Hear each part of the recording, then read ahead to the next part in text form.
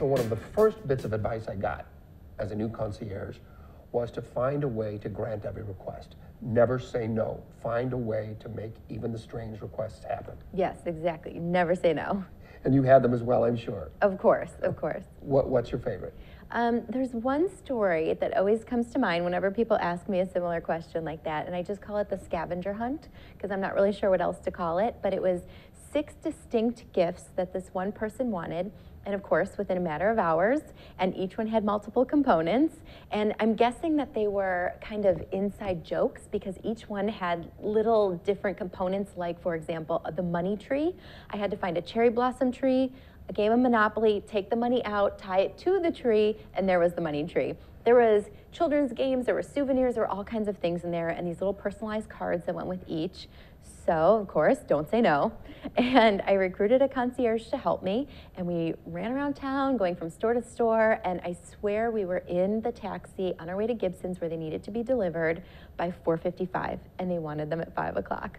And we just did it. That's a concierge. Yeah, absolutely. So I'm sure you have a story too. I have lots of stories, but I think my all-time favorite was my very first concierge position was at the Hilton Towers.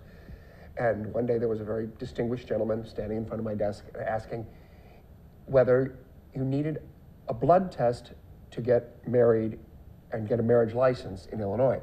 Okay. I didn't know, but I said, of course, I would find out, and it turned out you do not. And uh, he said, Well, we're going to do it while we're here. Help. We put a wedding together in two days. I got on the phone and found a minister who had come to the hotel. And when the minister called and spoke with the groom, it turned out they were distantly related. Interesting. They were both directly descended from Robert E. Lee, and both had Lee as their middle name. That's very weird. Very weird, but even weirder. The bride was there as, his, as the groom's guest. She was not an attendee of the convention, so she didn't really know anybody else. So she came to my desk and very sheepishly asked if I would stand up for her. So she wanted you to be wedding planner and bridesmaid, groomsman? Well, I don't know what you call it, but her, she actually said, I can't wait to show my girlfriends back home photographs of my bridesmaid. Wow.